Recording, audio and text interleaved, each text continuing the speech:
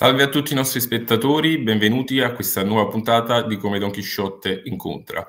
Ospite di oggi è il giornalista d'inchiesta e scrittore Franco Fracassi. Buongiorno Franco e benvenuto.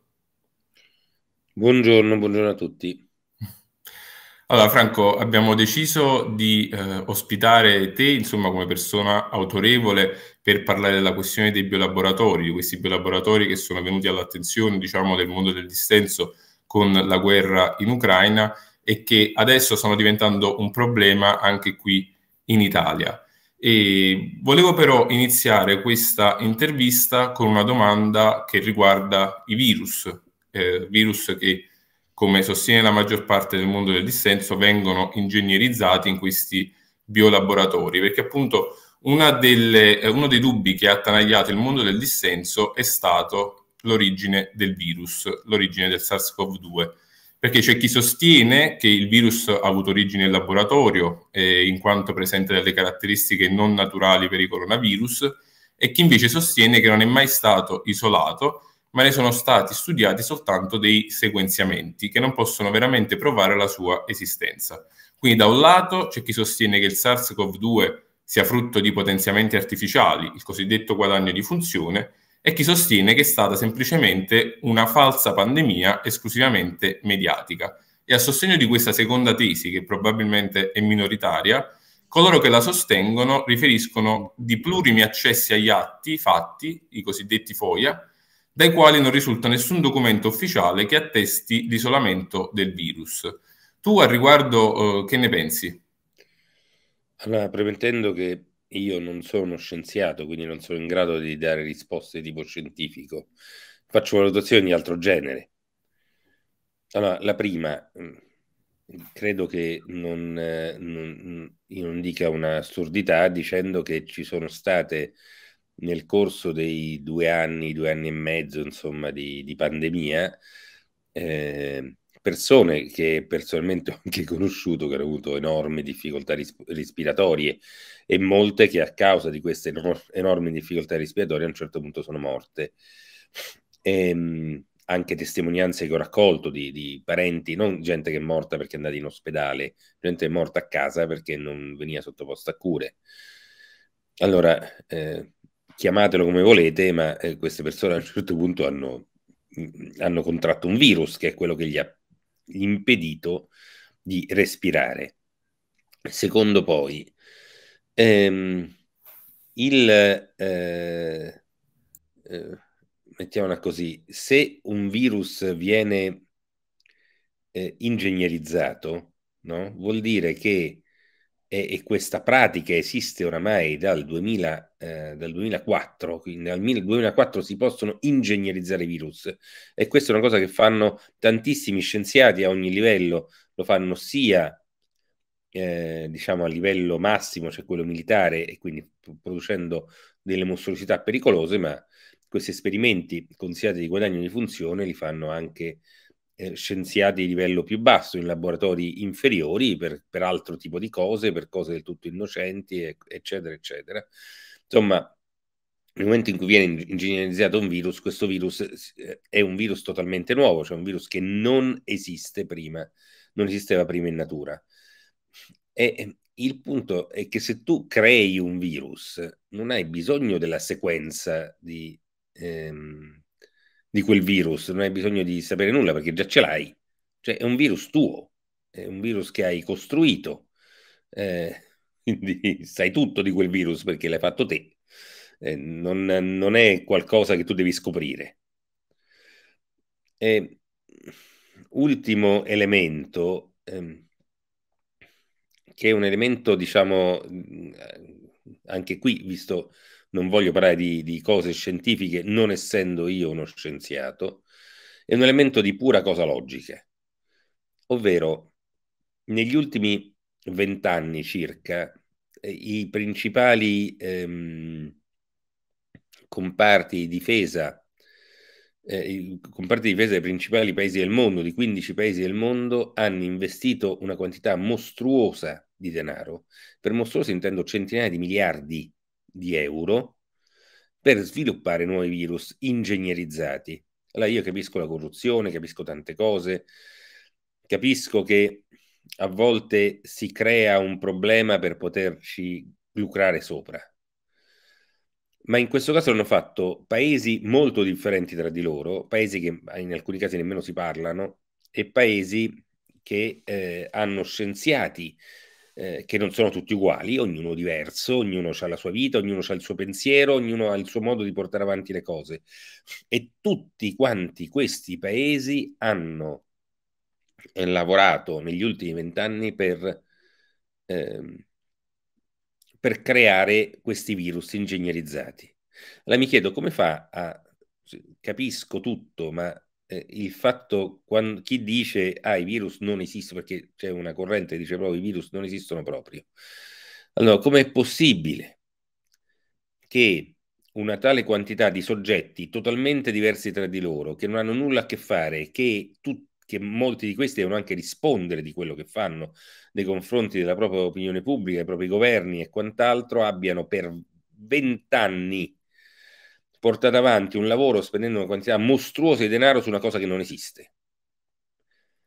E com'è possibile che tutti i principali istituti di ricerca del mondo, anche quelli di ricerca geostrategica, militare e così via, indichino in quel tipo di arma, che è un'arma che comunque esiste da molto tempo, come l'arma, eh, una delle armi più potenti che esistono al mondo e sono armi di distruzione di massa allora, eh, io sono abituato a affrontare temi eh, che apparentemente vanno anche contro ogni evidenza, nel senso che spesso racconto storie e ribalto, ma non perché lo voglia fare per principio, ma andando a indagare scopro che le cose sono il contrario di quello che ci viene raccontato, no? E spesso mi rendo conto che c'è una sorta di psicosi di massa che, ti fa, che fa pensare a tutti la stessa cosa, mentre la, cosa è, la verità sta nell'esatto opposto. Però qui siamo in qualcosa che va molto, molto, molto oltre, cioè non, è proprio una, è un altro, un'altra dimensione rispetto a quelle, diciamo, al contraddire qualche cosa che tutti credono sia andato in un modo invece è andato in un altro. Cioè, il, il fatto che è come dire, eh, cosa, verità, io poi sono uno aperto a tutto, come dire che il mondo che adesso vedo intorno a me non è il mondo reale, ma io sono in una sorta di matrix e quindi la stanza in cui mi trovo è una stanza che non esiste. Va bene tutto, però insomma sì, credo esista un limite alle, a, diciamo, a sfidare la logica e a sfidare la realtà. Ecco, eh, io faccio queste considerazioni. Dopodiché eh, ci sono una lista infinita di scienziati, di cui mm, molti dei quali mi fido, scienziati poi peraltro molto diversi da di loro, non sono mai parlati, non hanno mai, cioè che, hanno, eh, che, che sostengono queste cose, cioè sostengono che, eh, il virus, che, il vir- che i virus esistono, perché bisogna partire da questo, se i virus esistono o non esistono. Eh, eh, però questa è un'altra questione, questa è una questione che lascia un dibattito tra scienziati perché sono, non sono in grado di entrare eh, io quello su cui sono in entrare è l'indagine giornalistica, eh, l'indagine giornalistica molto accurata. Peraltro, dici, il biolaboratorio sono scoperti da quando c'è la guerra in Ucraina. Io ne scrivo da tre anni di questi biolaboratori e ho raccontato con dettaglio in un libro, sia I misteri di Wuhan, come è stato creato questo virus, con tutte le prove del fatto che sia stato creato. E, ehm, quindi, diciamo, da quel punto di vista io non ho dubbi perché una quant- esiste una quantità di prove gigantesche oramai piano piano anche gli stessi protagonisti di quel che è stato fatto e che hanno nascosto fino adesso la verità stanno, la stanno ammettendo per i motivi più disparati. Non sicuramente perché si sono redenti ma per i motivi più disparati stanno ammettendo la cosa. Dopodiché io non posso impedire a nessuno di credere che vuole questa è un'altra questione Assolutamente, assolutamente. Da giornalisti, insomma, noi dobbiamo lavorare su, sui fatti e sui documenti a nostra disposizione. E, mh, quando parliamo di guadagno di funzione, quindi di virus ingegnerizzati, parliamo di veri e propri brevetti, cioè esistono dei brevetti di ingegneria genetica mh, posseduti dai, da questi 15 paesi che tu hai citato? Eh, sì, eh, sono, beh, sono, sono delle creature, eh, sono come delle fabbriche, insomma, alla fine si produce merce da fabbrica, solo che questa merce è molto particolare e si chiamano malattie adesso io non, non, non, conosco bene ogni singolo dettaglio, quindi non so se ognuno di questi virus sia stato brevettato oppure no, non so che, in che stadio vengono brevettati, so per certo che alcuni di loro sono stati brevettati, per esempio il vaiolo delle scimmie, questo fantomatico vaiolo delle scimmie è stato brevettato al Pentagono nel 2004, mi pare, o nel 2005. Quindi... Eh, perché sono dei prodotti. Dice, questo ce l'ho io, se voi volete fare lo stesso prodotto mi dovete quantomeno pagare perché è brevettato e io ho l'esclusiva. Ecco. Ehm, poi nel campo degli armamenti c'è poco da avere l'esclusiva, se un paese vuole fare la stessa cosa lo fa, eh, non è che ci mette eh, chi, se ne frega, anzi sfrutta il fatto che la ricerca l'abbia fatta qualcun altro, insomma abbiamo visto con le armi atomiche e tutto quanto il resto. Però sì, vengono brevettati anche perché poi vengono brevettati anche i vaccini, che, dice, il cui brevetto di solito va di pari passo con il brevetto dell'arma. Assolutamente. E venendo quindi alla questione dei, dei biolaboratori, lasciando i virus eh, ai, al dibattito scientifico, come giustamente dicevi tu, ehm, è vero che sono diciamo, venuti all'attenzione del grande pubblico, anche del mondo del dissenso, con uh, la questione dell'Ucraina, con la guerra in Ucraina, però eh, insomma, noi che facciamo informazioni indipendenti abbiamo messo in dubbio la, la veridicità, diciamo la naturalità di questo virus fin dal biolaboratorio di Wuhan. Ecco, com'è stata un po' l'evoluzione della questione dei biolaboratori in questi anni e poi qual è la situazione adesso in Italia? Allora, la questione di questo tipo di biolaboratorio, perché il biolaboratorio di per sé non è una cosa negativa, nel senso anche dove andiamo a farci l'analisi del sangue è un biolaboratorio, eh, quindi il, i biolaboratori eh, è giusto che ci siano, è giusto che si faccia ricerca, io non sono contro queste cose. I biolaboratori militari o quelli civili, che sono tantissimi che lavorano su commissione dei militari, perché la purtroppo è la ricerca militare quella che traina la ricerca biologica. E, ehm, allora, dicevo, sono, eh, sta, sono, costituiti in rete perché devono interagire tra di loro, perché le scoperte scientifiche non, va, non, vengono mai fatte da un solo soggetto, ma sono frutto di collaborazione e di dibattito. Questa è la cosa importante, di dibattito, perché la scienza non è un'affermazione apodittica, ma è dibattito, non esistono verità assolute nella scienza, per fortuna, eh? insomma, da Galileo e Copernico in poi così funziona la scienza.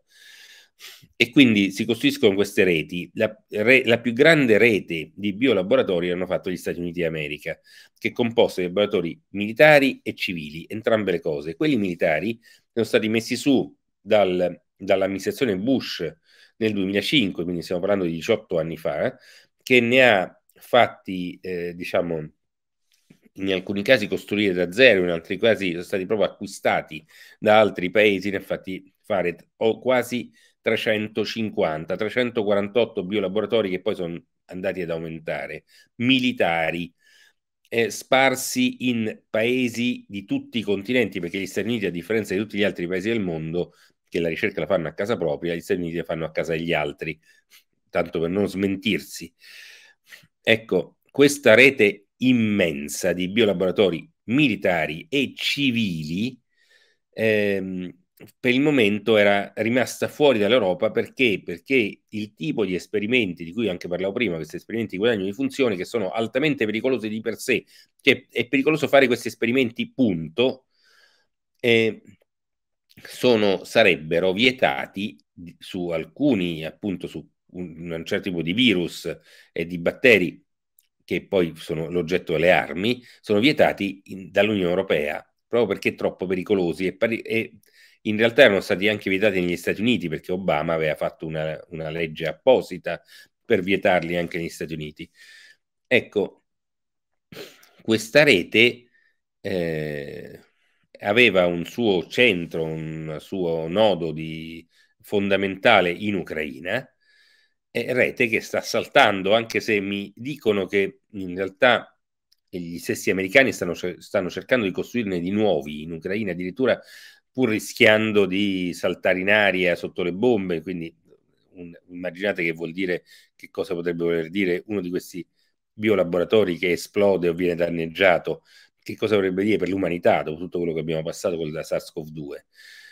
Però loro hanno sostanzialmente, diciamo, i più raz- raziocinanti, di loro spostiamo questa rete altrove, e eh, in barba a qualsiasi norma europea, perché oramai l'Europa, eh, le, le, norme valgono per tutto il mondo in Europa, tranne che per gli Stati Uniti, che se dicono qualche cosa improvvisamente l'Unione Europea cambia le regole o se non le cambia fa finta che non esistono.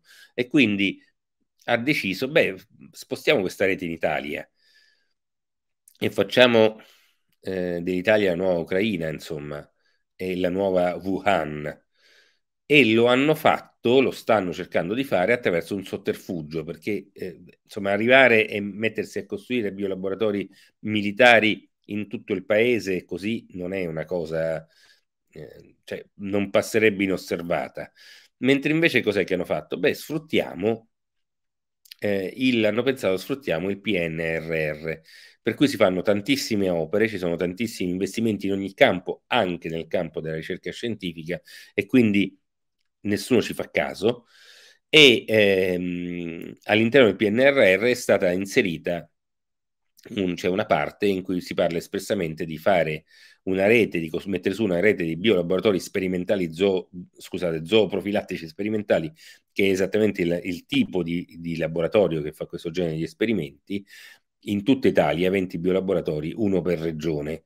E eh, come hanno fatto gli americani a far passare questa cosa? Appunto il PNRR, che teoricamente dovrebbe essere stato realizzato al governo Draghi, in realtà il governo Draghi nonostante il genio del nostro ex presidente del Consiglio, non è, non è stato in grado di farlo e ha affidato eh, la realizzazione del PNRR a una società di consulenza privata statunitense che si chiama McKinsey, il cui vertici sono tutti quanti ex dirigenti della CIA. Quindi sostanzialmente la McKinsey è una sorta di braccio politico, ehm, economico del, dell'amministrazione di Washington, della Casa Bianca. E, la McKinsey si è offerta di fare questa cosa per una cifra ridicola, cioè 25.000 euro, ma tanto eh, il vantaggio che, che, gli Stati Uniti ne, ne, ottenevano era talmente grande che l'avrebbero fatto, secondo me, avrebbero perfino pagato per poter fare, scrivere loro il PNRR, perché voleva dire scrivere il futuro, cioè stabilire la, la roadmap del futuro di un paese importante come l'Italia, perché lì c'è il nostro futuro, purtroppo, in PNRR. E, e quindi, se, visto che l'hanno scritto loro, hanno, sono riusciti a inserire questa cosa in, nel mare magnum di questo infinito libro che si chiama PNRR, che ovviamente nessuno si è andato a leggere perché è enorme, cioè, o quantomeno si sono letti le parti principali, ma non eh, ogni singola spesa di queste eh, decine di migliaia, centinaia di migliaia di spese che farà il nostro paese.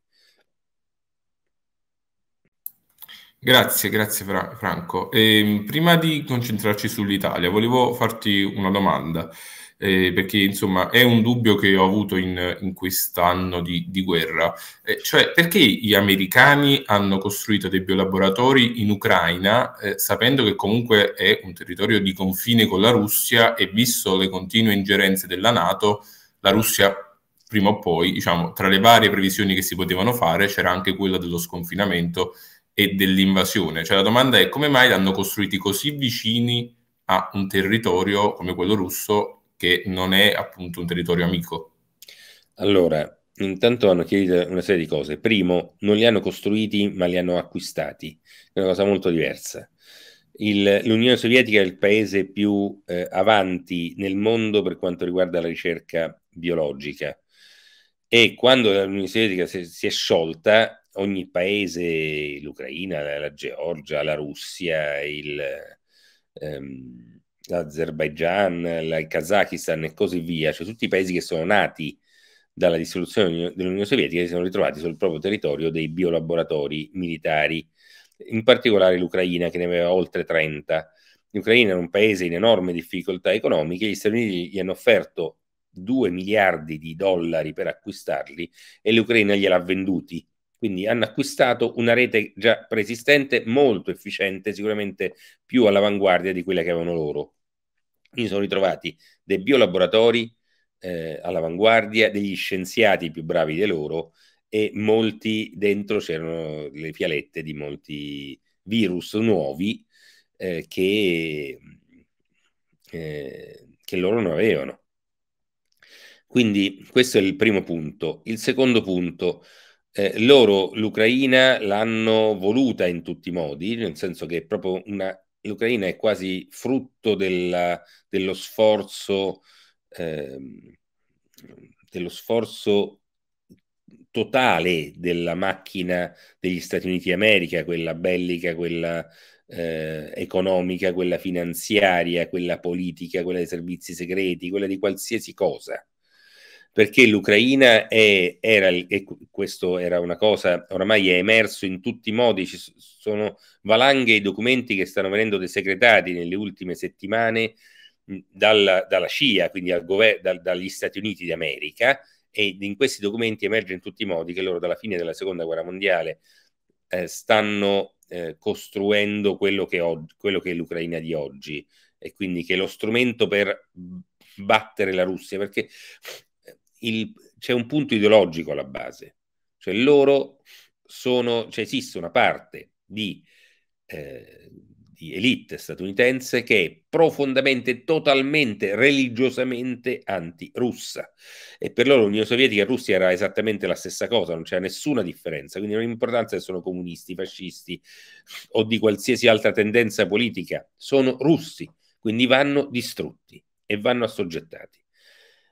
Ehm, in funzione di ciò, loro hanno individuato nell'Ucraina il eh, grimandello per poter riuscire a fare questo. E, ehm, e quindi eh, in qualche modo eh, l'Ucraina è roba loro ed essendo roba loro, loro hanno detto benissimo, è roba nostra, in più c'è il vantaggio che hanno questa rete di biolaboratori e c'è il vantaggio che sono europei, che non è un vantaggio da poco, perché quando tu devi sperimentare farmaci, devi sperimentare virus, non è che un virus o un farmaco hanno lo stesso effetto nei confronti di qualsiasi tipo di popolazione, l'abbiamo visto anche con la SARS-CoV-2, insomma, non tutti, ognuno ha il, il proprio modo di reagire e interagire con le malattie. Visto che i principali consumatori di farmaci e di un certo tipo di virus, mettiamola così, sono gli europei, e avere un paese europeo a nostra disposizione, dicono gli Stati Uniti, per poter fare quello che ci pare a noi e sperimentare il futuro è l'ideale perché lo sperimentiamo proprio nel, col tipo di popolazione che ci serve. E questo è il motivo per cui hanno spinto tantissimo sull'Ucraina, perché insomma alla fine gli ucraini erano cavie perfette per, eh, per il resto dell'Europa. Ed è anche il motivo per cui tutte le principali case farmaceutiche hanno aperto in Ucraina ogni sorta di laboratorio per poi sperimentare farmaci su, ehm, sulla popolazione ucraina. Quindi questo è il motivo per cui esiste questa rete. Dopodiché esiste l'altra parte, ovvero la religiosa convinzione che bisogna distruggere la Russia, in questo caso, visto che non esiste più l'Unione Sovietica, e che ha portato in particolare l'amministrazione Biden, che ha il cui vertice, ovvero Joe Biden e la sua famiglia hanno interessi eh, personali nella questione ucraina, quindi è una questione di conflitto di interesse, c'è un conflitto di interesse immenso in questa guerra da parte di Joe Biden.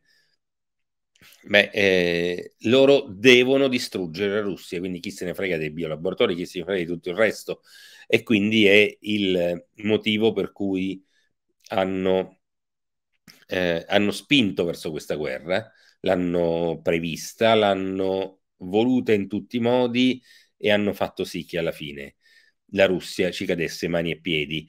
Eh, il, se posso, insomma, il, eh, le dichiarazioni di alcuni, ehm, eh, di alcuni capi di Stato europei fanno capire effettivamente di, del, diciamo, di come si è arrivati a questa guerra, di come la Russia ci sia caduta dentro totalmente. Perché ci sono stati alcuni personaggi come per esempio eh, l'ex cancelliera tedesca Angela Merkel, l'ex presidente francese eh, François Hollande e altri che hanno dichiarato apertamente che, il, ehm, che gli accordi che si erano fatti a Minsk per raggiungere eh, non solo un cessate il fuoco della, della, della, guerra, della guerra che Kiev ha portato in Donbass, insomma, della guerra civile, ma soprattutto per trovare una soluzione pacifica e risolutiva della questione ucraina, quegli accordi erano accordi farlocchi, non per la Russia. Per chi quegli accordi li aveva proposti, ovvero l'Europa, ci avevano detto chiaramente noi questi accordi li abbiamo fatti solo con lo scopo di far credere alla Russia che noi volessimo la pace, eh, di eh, guadagnare tempo per avere il tempo per armare l'Ucraina e preparare la guerra che adesso è in corso. Ecco, questa parte qui purtroppo, che è la parte, diciamo, bellicista, la parte nato della, della questione, e, e, questa parte ha avuto la, la prevalenza e quindi oggi ci ritroviamo con la guerra e con la necessità da parte degli Stati Uniti stessi, e questa sembrerebbe quasi una contraddizione, di dover far sloggiare la rete di laboratori in Ucraina perché non è più al sicuro e in parte è finita sotto il, il controllo russo. E questa rete viene spostata in Italia, giusto? Com'è la situazione? Esattamente. E, ehm, quindi a, a, parte il laboratorio di Pesaro, su cui poi dedicheremo la parte finale dell'intervista, anche lanciando l'appello a tutti i nostri spettatori a partecipare alla manifestazione, e, ehm, c'è anche qui in Italia una rete di biolaboratori già presente oppure vanno costruiti appunto, cioè questi 222 laboratori che tu dici essere nel PNRR, sono tutti quanti da costruire oppure alcuni già esistono e vanno semplicemente messi in, uh, in funzione? Eh, allora, non, francamente non lo so perché non so dove, come, diciamo c'è solo scritto che li faranno, poi se utilizzeranno cose già esistenti non ne ho idea. In Italia i biolaboratori esistono perché ci sono, perché l'Italia è un paese sviluppato anche dal punto di vista della ricerca scientifica. Ce ne sono due che sono di livello 4, uno è al Sacco di Milano e l'altro allo Spallanzani di Roma, eh, ma sono quel tipo di laboratori appunto eh, che si, occup- si dovrebbero occupare, poi non so cosa succede all'interno francamente, si dovrebbero occupare della ricerca cosiddetta sana. Eh, dopodiché esiste una rete di biolaboratori, sì c'è, perché appunto l'Italia è un paese avanzato da questo punto di vista, che studia, ehm, studia virus, studia, studia batteri e teoricamente dovrebbe studiare come combattere le malattie non è necessariamente una rete, ci sono dei biolaboratori, insomma, che non so bene come siano collegati tra di loro in questo momento e non so se gli Stati Uniti utilizzeranno quest- questi singoli biolaboratori per metterli in rete. Eh, quello che di Pesaro, per esempio, quello che si farà a Pesaro è un biolaboratorio che già esiste, che verrà spostato e potenziato, ehm, così come è accaduto in altri luoghi. Ehm, diciamo che esistono di sicuro due biolaboratori già in funzione, voluti fortemente dagli Stati Uniti.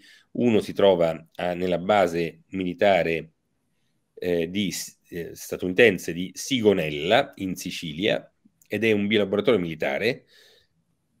Questo si sa per certo perché, insomma, l'hanno, oltre al fatto che sta dentro una base militare, ma l'hanno dichiarato gli stessi Stati Uniti, ed è stato trasferito dal Cairo nel novembre del 2019. In questo biolaboratorio militare eh, a Sigonella si fanno ricerche sul, per creare armi alla SARS, il che non ci dovrebbe far stare molto tranquilli visto quello che abbiamo passato negli ultimi anni.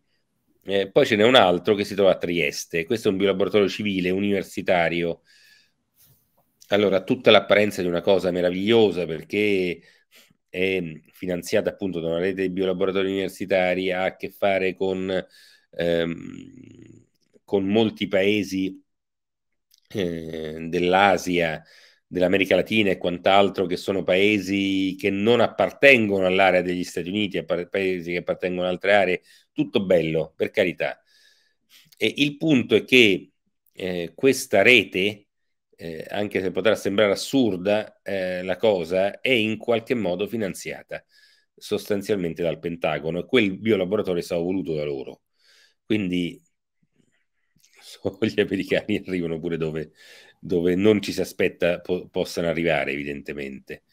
E, e oltretutto questo biolaboratorio controllato dalle Nazioni Unite, come accade per tutti i biolaboratori di un certo livello, sono sempre sotto il controllo dell'Organizzazione Mondiale della Sanità, è fondamentale questa parte, e, mh, gode di totale immunità sia diplomatica che eh, insomma eh, non si può entrare in questo biolaboratorio come non si può entrare nelle ambasciate, non lo può fare nemmeno la magistratura italiana, essendo ter- comunque territorio italiano e non si possono perseguire gli scienziati che fanno quel tipo di ricerca e, ha, e tutto questo non ha nulla a che vedere con il fatto che eh, l'OMS in qualche modo eh, controlla questo biolaboratorio perché negli altri eh, sono tutti quanti questi biolaboratori di un certo tipo controllati dall'OMS, lo era perfino quello di, di Wuhan, cioè rientrano in una certa categoria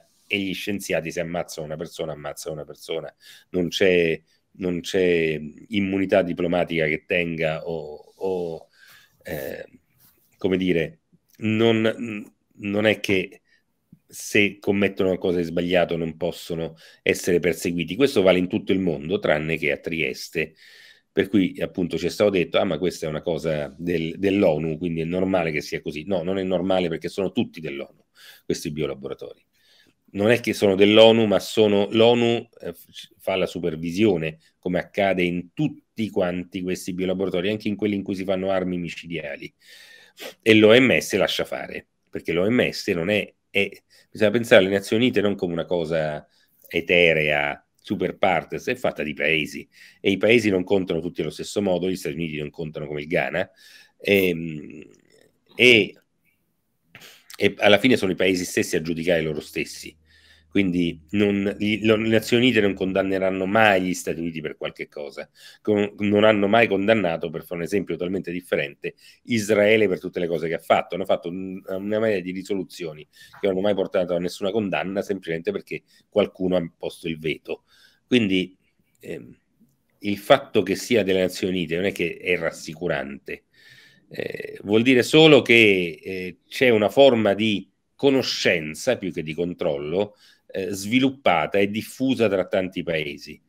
Dopodiché, se questi biolaboratori, eh, con, diciamo, sotto il controllo delle Nazioni Unite eh, si, si, mettessero a fare cose spaventose, nessuno potrà impedire di farglielo, tantomeno le Nazioni Unite, perché appunto eh, ci sarà sempre il paese che si opporrà e quindi loro non potranno farlo.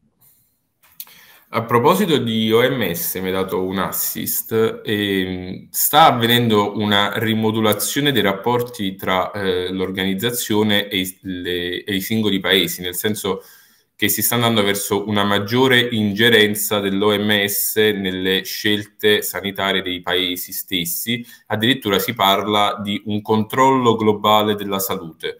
Ecco, quindi come possiamo, come si uniscono questi due discorsi? La minaccia dei virus dei biolaboratori e il controllo della, delle pratiche da parte dell'OMS? No, per quanto mi riguarda sono due cose t- totalmente collegate, collegate, tra di loro, insomma, eh, anche perché sembrerebbe veramente una curiosa coincidenza il fatto di portare avanti entrambi i discorsi. Eh, io ho come l'impressione, ovviamente si tratta di un'impressione, che questo, quello che ci è appena accaduto, insomma, la pandemia da SARS-CoV-2 sia stata una sorta di prova generale per capire fino a dove si potessero spingere. E hanno capito che si possono spingere molto in là, tant'è che eh, i paesi, specialmente i paesi della Nato, e l'Italia è uno dei paesi in prima fila, il governo Meloni, sta eh, cercando di trasformare l'OMS e di, attraverso due votazioni che se passeranno faranno sì che l'OMS, in caso sempre di dichiarazione di pandemia, ehm, si impossesserà di tutti i sistemi sanitari del mondo, quindi non sarà più il nostro ministro eh, della salute o i vari assessori regionali alla salute a gestire il nostro sistema sanitario, ma sarà un oscuro funzionario dell'OMS a farlo. E poi la seconda cosa, sempre in caso di, di dichiarazione della pandemia, l'introduzione automatica del Green Pass universale in tutti i paesi del mondo. Allora, eh, tutto questo potrà accadere solo se l'OMS dichiarerà pandemia, quindi solo se ci sarà in circolazione un virus tale da permettergli di fare questo tipo di dichiarazione e di decidere in tal senso. E, visto che i virus naturali non, non eh, ammesso che sia, molti dicono che era, non era naturale nemmeno quello, ma diciamo che la, la spagnola è stata l'ultima epidemia eh, pandemia, diciamo, della storia, dopodiché per ragioni logiche, perché è migliorata l'igiene, la sanità, eh, la società, le medicine, tutto quanto il resto, non ci sono state più pandemie, perché le malattie le riusciamo a tenere sotto controllo. Eh, l'unico modo per non tenere sotto controllo è crearne nuove di malattie, quindi malattie che sfuggono alle reti della nostra, ehm, di tutto il nostro sistema sanitario mondiale. E quindi eh, delle decisioni del genere hanno un senso se, eh, se c'è diciamo, l'innesco della, dell'arma. L'arma è il Green Pass e, il, ehm, e la perdita del controllo da parte dei singoli paesi e dei sistemi sanitari, eh, l'innesco si chiama virus e il luogo dove si produce l'innesco si chiama biolaboratorio zooprofilattico sperimentale. Assolutamente. E possiamo quindi immaginarci l'Italia come il prossimo centro di una pandemia, visto questi nuovi biolaboratori in costruzione? Se verranno fatti, diciamo che la probabilità che la nuova pandemia parte dall'Italia è abbastanza alta. Magari ce uscirà da un'altra parte, però diciamo che... non c'è da stare troppo sicuri, insomma. No. Anche perché poi c'è stata una nuova simulazione che prevede un nuovo virus nel 2025 con un tasso di mortalità molto più alto. E insomma, eh, a, a, questo punto eh, io chiedo a Giulio di far vedere la locandina dell'evento del primo maggio, perché il primo maggio a Pesaro si terrà una manifestazione eh, contro, questo, contro la costruzione del, del biolaboratorio. E mh, Franco, qual è la strategia da, da, cittadini, da attivisti, qual è la strategia migliore per uh, impedire la costruzione di questo biolaboratorio? Allora, I cittadini di Pesaro cosa possono fare, allora, al di là fermo... del sostegno che diamo noi? Sì, fermo restando che eh, non esiste una strategia vincente, punto. Cioè, eh, diciamo, ci si prova, ecco, si può avere, si va nel campo delle probabilità. Allora, qual è, qual è il ragionamento? Il ragionamento è come si fa a fermare la costruzione di un biolaboratorio deciso dagli Stati Uniti con di mezzo l'OMS, con l'Unione Europea che eh, diciamo spinge e finanzia il PNRR e lo Stato italiano che alla fine fa da ultimo, ehm, eh, diciamo, da ultimo anello di questa catena. Allora, tutti questi soggetti abbiamo capito non sono battibili, cioè almeno durante la pandemia non abbiamo avuto ragione su nessuno di questi, anche per ovvie ragioni. Però la nostra legge, cioè la legge dello Stato italiano, dice che tutte le questioni urbanistiche vanno in capo al comune. Se bisogna fare un biolaboratorio, quindi è il comune che deve dare le autorizzazioni per fare questo biolaboratorio, senza le quali questo biolaboratorio non si potrà fare. E questo l'abbiamo visto anche in occasione dei, eh, degli inceneritori, degli stadi, di qualsiasi altra cosa si è voluta fare, per cui eh, il comune alla fine non ha dato l'assenso. Allora, quindi noi abbiamo una catena potentissima, con anelli solidissimi, però con un ultimo anello che si chiama Comune di Pesaro, che solido non è, perché insomma non è esattamente, non è né il comune di Roma né quello di Milano, è un comune di una relativa piccola cittadina italiana. Ehm, allora, sì, l'anello eh, cioè, scusate, la catena, per quanto potente possa essere, se ha un anello più debole, se uno spezza quell'anello, quel singolo anello, si spezza la catena. Quindi concentriamoci su quello più debole, che è l'unico che, su cui possiamo prevalere. Allora, il ragionamento qual è? Eh, il comune di Pesaro ha votato quasi all'unanimità eh, la, diciamo, il, il, la delibera in cui si è deciso dove costruire questo biolaboratorio. Lo ha fatto, l'ha potuto fare perché i, i, consiglieri comunali, sono 27 consiglieri comunali che hanno votato, ehm, diciamo buona parte di questi è del tutto ignorante, come lo è la popolazione italiana sulla questione dei biolaboratori, non ci fa proprio caso, anzi li vede solo come una cosa, come una panacea, come una cosa ottima da fare. Eh, e eh, costoro vivono, vivono, in una città che la pensa esattamente nello stesso modo, nel senso che non ne sa, probabilmente non sa nemmeno nulla che verrà fatto un biolaboratorio nella loro città e se lo sa mh, non ne capisce la natura. Allora, il punto è che questi, essendo una città media dal punto di vista, diciamo, demografico, è una di quelle città di provincia in cui eh, non dico tutti conoscono tutti, però insomma diciamo che ci si conosce abbastanza, in cui l'attenzione verso il prossimo è massima, per cui si conoscono, io per esempio non ho, non ho la più pallida idea di, di, chi sono quelli che abitano nel palazzo accanto al mio, proprio non, mai, non saprei indicarne nemmeno uno, perché vivo a Roma, cioè non, non ci faccio caso, mentre invece in una città di quelle dimensioni tu conosci sai chi sono quelli della tua strada, sai, conosci le persone intorno, conosci i cittadini della tua città perché poi vai nel corso, in piazza, a passeggiare, nel bar, insomma, i rapporti umani sono totalmente differenti, anche per i politici. Allora, quindi noi abbiamo questi consiglieri comunali che non sono nell'ipersfera come sono da noi a Roma, il, il, cui nome non conosco e non conosco nemmeno il volto di nessuno di questi consiglieri comunali. Ehm, è gente che vive la città, che è conosciuta che, lo, che, è, diciamo, che loro conoscono e soprattutto si preoccupano di come si vestono, di, come, di cosa dicono, di, di, delle voci che circolano e quant'altro, come avviene nelle città di provincia. Quindi questo diciamo, è l'elemento più forte su cui giocare. Perché? Perché finché la città è sonnolenta, loro fanno quello che gli pare. Nel momento in cui la città si mettesse di traverso, o una parte significativa di quella città, loro avrebbero difficoltà per come sono fatti anche a uscire di casa. Figurarsi a votare un provvedimento del genere, oltre al fatto che ci saranno le elezioni e quindi devono essere rielette queste persone. E, e tutti sanno esattamente chi sono. Non sono delle facce sui manifesti anonime come sono nelle grandi città, ma sono gente che loro conoscono bene. Quindi il, il, diciamo, lo sforzo che si sta cercando di fare è quello di svegliare la città.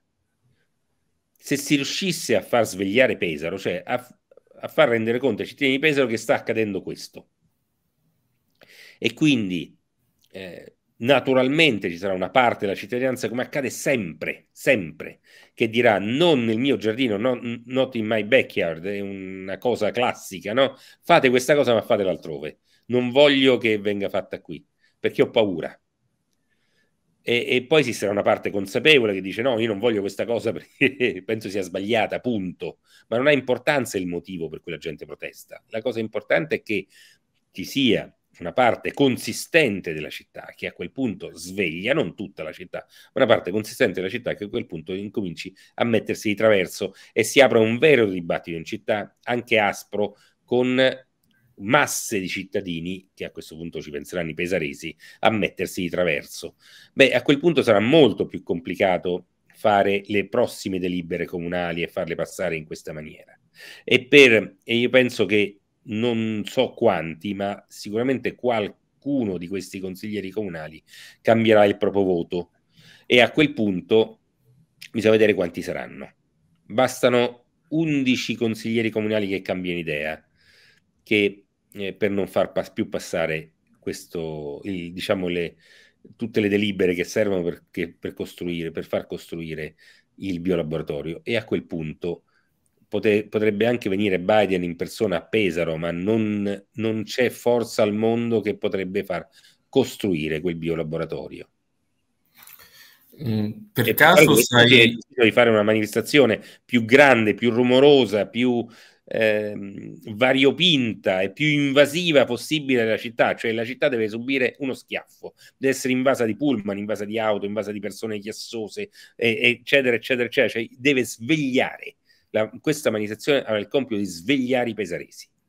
Assolutamente, infatti mh, so che stanno, si stanno organizzando gruppi da tutta Italia, appunto con i pullman, come giustamente dici tu. E mh, per caso sai anche successivamente alla manifestazioni del primo maggio, qual è la roadmap delle delibere? Nel senso, dal primo maggio, poi quando è che il Consiglio Comunale... Eh, questo non lo so, francamente, perché dovranno decidere, insomma, non so bene, però loro dovranno eh, vendere innanzitutto il terreno, poi dovranno dare i vari permessi edilizi, cioè ci sono tutta una serie di cose che devono essere fatte eh, fino al collaudo finale, ecco. Certo. E il comune, come sempre, ha voce in capitolo.